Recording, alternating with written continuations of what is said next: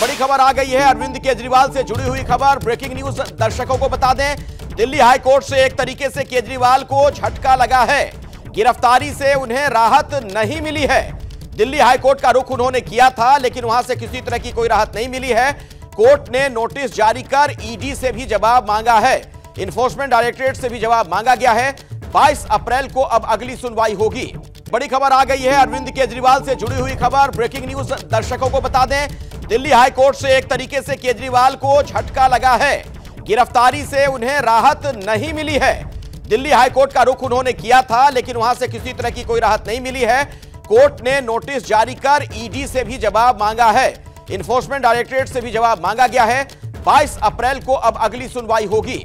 बड़ी खबर आ गई है। अरविंद केजरीवाल से जुड़ी हुई खबर। ब्रेकिंग न्यूज़, दर्शकों को बता दें, दिल्ली हाईकोर्ट से एक तरीके से केजरीवाल को झटका लगा है। गिरफ्तारी से उन्हें राहत नहीं मिली है।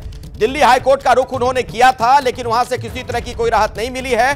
कोर्ट ने नोटिस जारी कर ईडी से भी जवाब मांगा है। इन्फोर्समेंट डायरेक्टरेट से भी जवाब मांगा गया है। 22 अप्रैल को अब अगली सुनवाई होगी।